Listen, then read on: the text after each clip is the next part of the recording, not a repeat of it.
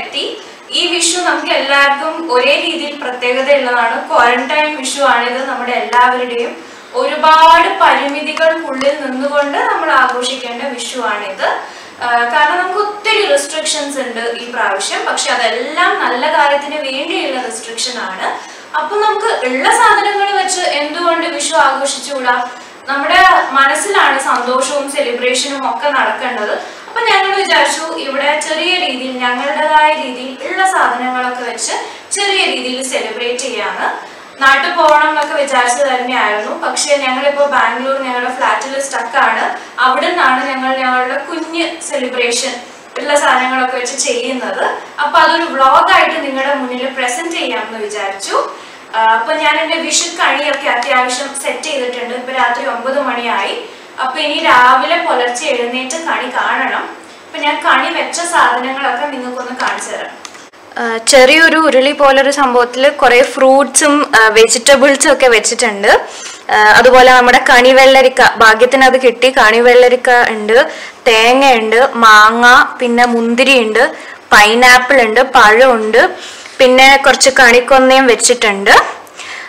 പിന്നെന്ന് പറഞ്ഞിട്ടുണ്ടെങ്കിൽ ഇത് ഒരു ദൈവത്തിന്റെ ഫോട്ടോ ആണ്. പരദേവതയുടെ ഫോട്ടോ ആണ്. ഞാൻ ചെറുപ്പം തൊട്ട് പ്രാർത്ഥിക്കുന്ന ഒരു ദൈവമാണ്.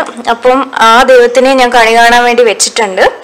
അത് കഴിഞ്ഞിട്ടുണ്ടെങ്കിൽ പിന്നെ അതൊരു കുഞ്ഞ് കുങ്കുമ ചെപ്പാണ് പിന്നെ ഇതൊരു കുഞ്ഞു ഉരുളിയാണ് ചെറിയൊരു ഉരുളി. പിന്നെ ഇത് ലക്ഷ്മി വിളക്കാണ്. ഇത് വിളക്ക് നിലവിളക്ക് കിണ്ടി ഇത് കുങ്കുമച്ചെപ്പാണ്. ഈ ഈ ഫുൾ സെറ്റ് എന്റെ ഒരു കസിൻ ഗിഫ്റ്റ് തന്നതായിരുന്നു.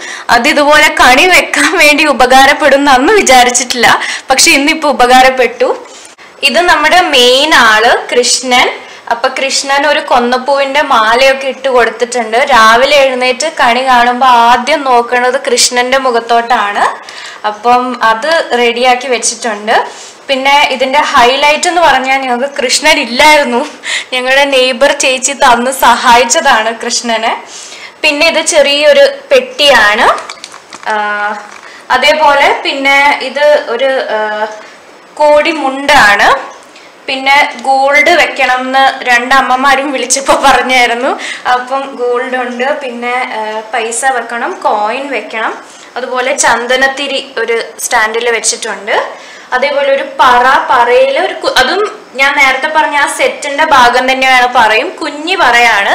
അപ്പൊ പറയ്ക്കകത്ത് കുറച്ച് അരി ഇട്ട് വെച്ചിട്ടുണ്ട്. ഇത്രയേ ഉള്ളൂ നമ്മുടെ വിഷുക്കണി. ഇതിൽ ഒരുപാട് കാര്യങ്ങൾ ആഡ് ചെയ്യാനുണ്ട് എന്ന് എനിക്കറിയാം. പക്ഷേ എന്താ പറയാ ഇതൊക്കെ ഇപ്പൊ പ്രസന്റ്ലി നമുക്ക് അവൈലബിൾ ആയിട്ട് വീട്ടിൽ തന്നെ ഉണ്ടായിരുന്ന സാധനങ്ങൾ ഉണ്ടായിരുന്നുള്ളൂ. സോ അത് വെച്ചൊരു വിഷുക്കണി സെറ്റ് ചെയ്തിട്ടുണ്ട്. അപ്പൊ നാളെ രാവിലെ എഴുന്നേറ്റ് ആ കണി കാണണം. നിങ്ങളെ കാണിച്ചു തരാം.